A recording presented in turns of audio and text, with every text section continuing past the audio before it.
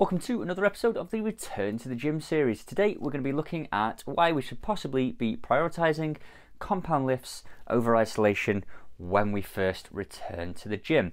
So, quickly, what is the difference between compound and isolation? So, compound movements are movements that work across multiple joints. So, over one joint, so things like squats, deadlifts, pull ups, shoulder presses um, and isolations are one that works across one singular joint. So that might be a tricep pushdown, leg extension, and exercises like that.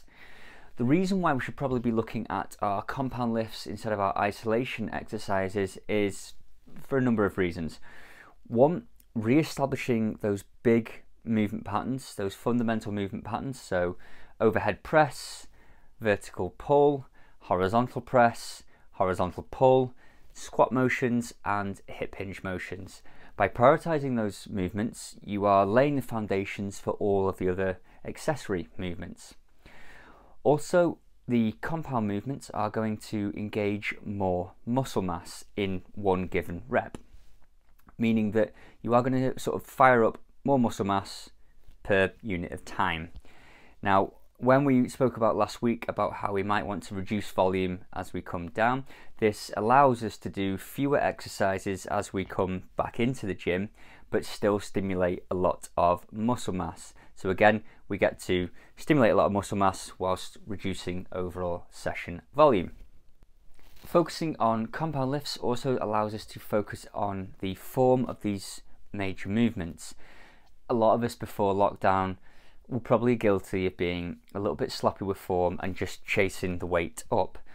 By just focusing in on the compound lifts, we can concentrate on making the form of these lifts much, much better than they were and much more effective for muscle growth.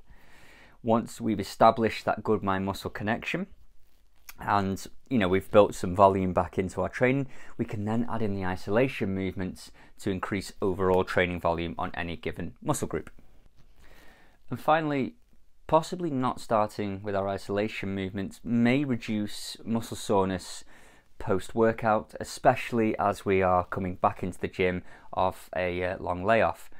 Doing lots of isolation movements may cause a lot of oxidative damage to the muscle, and you might be incredibly sore simply just because of the layoff of time that we've had from major lifting uh, free weight training. So there you have it guys, there's a little overview of maybe why we should be prioritising compound lifts over isolation to start. If you have any questions, please don't hesitate to drop a comment below, message me directly, always happy to help. Uh, have a great day guys, and I will see you tomorrow.